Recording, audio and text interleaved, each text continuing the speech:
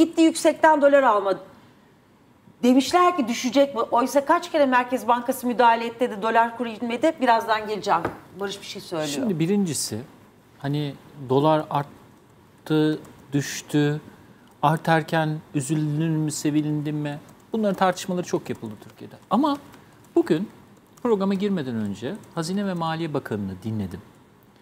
Ve e, dikkat ettiniz mi? Gülümsüyordu. Mutluydu. Televizyonda çok şen kahkahalar attığı, mutlu olduğu bir program yapıyordu. Ya bir dakika.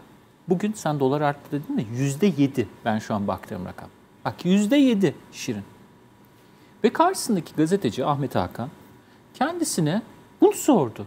Dedi ki ya tamam düştü falan da bugün yüzde yedi arttı dedi özetle. Nurettin Nebati ne dedi biliyor musunuz? Hiç endişe edecek bir şey yok ki insanlar işte paralarını zaten kur garantili yatırdıkları için onlar rahat olsunlar.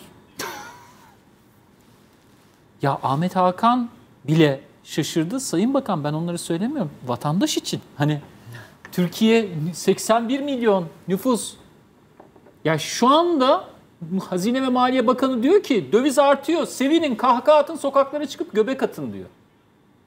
Karşısındaki gazeteci diyor ki ya bir dakika 81 milyonluk nüfusun ne kadarı? 370 bin kişi. Kaç kişi? söyleyeyim. Yani 370 bin kişi. 81 milyon eksi 370 bin üzülsün. Geri kalan 370 bin kişi davul çalabilir bu akşam. Dolar artıyor. Bakın bakan da çok güldüğüne göre demek ki 370 bin kişinin adına seviniyor bugün. Şimdi bir dakika. ya da Türkiye'de- kendi dolar etraflarındaki dolarlarına dolar katanlar adına zaten ben seviniyor. burada defaatle anlatıyorum. Ben patronum dedi ya def, patronları çağırıp. Ben biz aynı gemideyiz dedi ya patronlara. Hatta ağalıktan gelmiş ağalar ve patronlara. Ben onların bakanı olduğunu söylüyordum ama bugün bu kadar açıkça söylemesine ben, iş- ben bile şaşırdım. Çünkü dövizin %7 arttığı bir ülkede bakan bunun sevinilecek bir şey olduğunu anlatmaz. Kur koru- korumalı faiz hesabına yatırmış olanlar rahat olsunlar diyerek sadece onlar için sevinilecek bir şey olduğunu topluma anlatmaz ki. Dediğim gibi Ahmet Hakan bile diğer vatandaşlar için böyle olduğunu söyledi. Çünkü bakın bugüne kadar Şirin, bugüne kadar vatandaş döviz kurunu şöyle seyrediyordu. Şöyle seyrediyordu. Cebinde döviz olduğu için mi? Bir kesimin var. Onlara da saygı duyuyoruz. Hepsi bizim ülkemizin vatandaşı. İnsanlar paralarını korumak için döviz yatırıyorlar. Ama çok büyük bir çoğunluğu Türkiye'de döviz yatırımları maalesef olmadığı için halkımızın büyük bir çoğunluğu %50'sinden fazlası asgari ücretle geçindiği için böyle bir yatırım yok. İkincisi emin yüzde kaçının yüzde 3 ayın üstünde bankaya yatırabilecek kadar yani 3 ayın üstünde unutacak kadar parası var. Bankadaki mevduat hesaplarının sadece yüzde 7'sinin 6.9 küsür. Yani Türk insanının öyle 3 ay bankaya yatırayım unutayım diyecek kadar parası yok. Tabii canım Hayır. küçük parasını Parası dö- dö- olan- döndürüyor. Olanlar da yatırmıyorlar. Neden? Ben onu size hemen söyleyeyim. Şimdi güvenmiyorlar. Şimdi para e, az parası olanın parası kıymetlidir ama çok parası olan da hasistir. Böyle parasını öyle bir yıl parasını bu iktidara güvenip yatıracak. Öyle bir şey yok. İşte Yatırmaz. şu anda geçmişte insanlar dolara şöyle bakıyorlardı ekrana. Eyvah dolar arttı şimdi domates artacak, ekmek artacak, peynir artacak böyle düşünüyorlar. Şimdi bir dert daha eklendi biliyor musun Emin? Bakan çünkü televizyonda bugün yaptığı konuşmada olduğu gibi doların her artışı, avronun her artışı şu demek. E hazine ödüyor. Rahat olun. Hazine ödüyor faizi olanlar. Evet. Hazine kimin parası? Pardon benim, senin, senin çalışmandan, vergilerinden, elektrik faturasından, doğalgaz faturasından her şeyden toplanmış paranın O toplanmış bir de yenmiş zamanda çünkü o da yok. evet, Olmayan paradan para ayrı zamanda. devlet bakın devlet bakan rahat olsun diyor ya rahat olsunu merak etmeyin ben cebimden para vereceğim dediği için rahat değil. Bizim paralarımızı döviz hesaplı dövizin yükselmesi nedeniyle bir kayıp yaşanırsa o hesaba para yatıranlara garanti ettiği için tabiri caizse onlara sigorta ettiği için bir de televizyon izleyenler döviz arttıkça peynir, domatesten başka bir de şu anda hazinenin paraları bu hesaplara akıyor diye üzülmeye başlayacaklar. Bir bakan, tekrar uyarıyorum, dövizin %7 arttığı ülkede öyle gülümsemez. Buna ilişkin endişeleri giderici, samimi, net açıklamalar yapar. Şimdi e, bu böyle. Bence Nurettin Nebati ekonomi bilmiyor. Şu anda bence yapılan programı da anlamış değil bana kalırsa. Bence onun önüne bir program şey konuldu, bir program konuldu. Ee, şöyle bir şey yapalım dendi. Sen de bunu al, televizyon, bizim yandaş kanalları, kredisini geri ödemeyen kanalları gez gez, anlat bunu dediler. O yüzden gülerek geziyor. Çünkü o şu anda bir PR çalışması yapıyor. Yani onu ikna etmeye çalışıyor. Bence anlamıyor. Çünkü neden anlamıyor diyorum biliyor musun? Şundan dolayı anlamıyor diyorum. Emine soracağım bunu. Şimdi mesela anlatıyor diyor ki bu insanların küçük yatırımcıların döviz almaya teşvik ettiler. Bu insanların ahını ve maddi zararlarını kim karşılayacak? Ahını ve maddi zararlarını kim karşılayacak? Küçük yatırımcıyı biz aldatan ve aldanan olmadık. Aldatan ve aldanan olmadık. Vatandaş inandı 20 Aralık'ta ve döndü diyor. Şimdi peki madem 20 Aralık'ta vatandaş inandı size ve sizi aldatan olmadınız neden o zaman daha en baştan bu müdahale yapmadınız? Değil mi? Soru bu. Ona da bir cevap var Nebati'nin. Bakın nedir? Ne söylüyor? Şöyle diyor. Çünkü küçük artışlarda bir endişe yoktu başlarda. Küçük artış. 8'den 13'e fırlayan e, dolar Nurettin Nebati için küçük bir artış Emin. Ne diyorsun? Bugün e, saat 17.30'da seyircilerimiz seyretmemişlerdir belki hani gündüz kuşağında olduğu için. Ben e, dijital para programında bir grafik gösterdim dünyada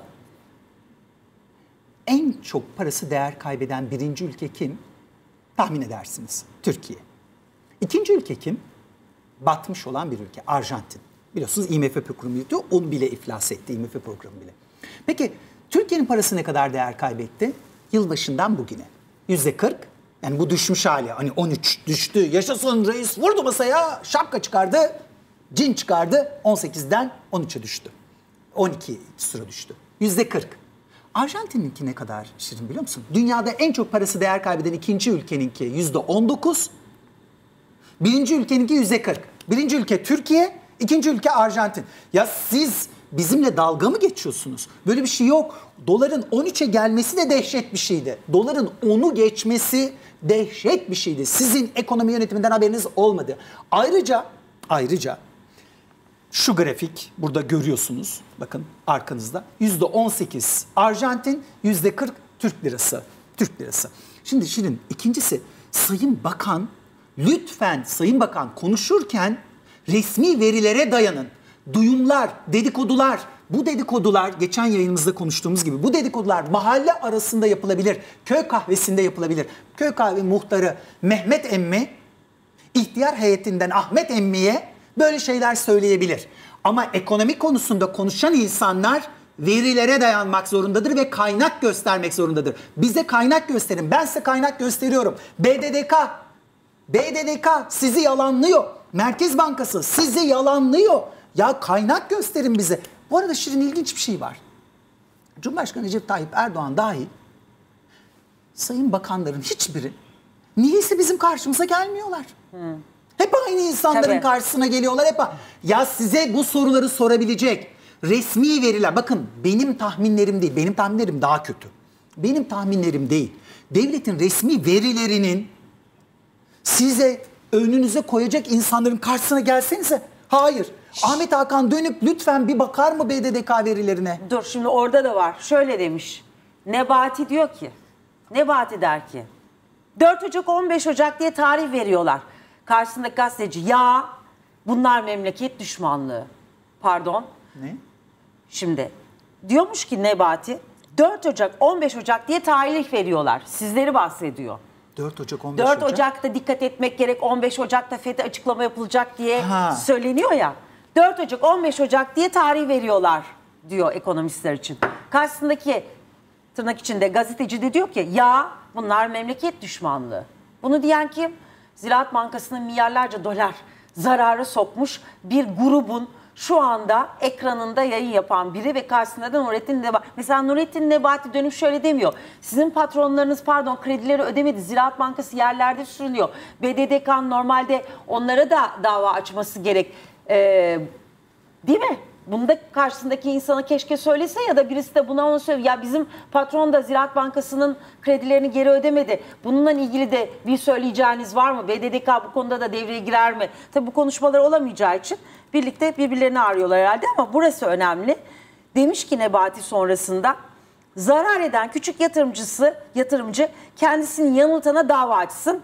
Yine sizi hedef gösteriyor. Bu 26 kişi yani açtı işte Durmuş Yılmaz, Emin Çapa, Selçuk Geçer, akademisyenler, ekonomistler. Küçük yatırımcıyı bunlar yanıltmış. Öyle diyor Nurettin Nebati. Kendilerinin hiçbir suçu yok. Bu arada şöyle diyor arkasından da bunu da söyleyeyim de tabloyu tamamlasın. Bu arada diyor Nebati dış saldırı yapılacak tüm yolları kapattık. Kendisi daha önce dış saldırı yok demişti. Herhalde orada e, bayağı bir e, ihtar yedi diyelim nazikçe ki şimdi dış saldırı yapılacak tüm yolları kapattık. Dış saldırı ne? Para zaten Katar'dan Birleşik Arap Emirlikleri'nden gelmiyor mu? Ya da orayla swap anlaşması yapılmıyor mu? Katar'la swap anlaşması yapıldığında dış müdahale olmuyor mu? Sana bırakıyorum.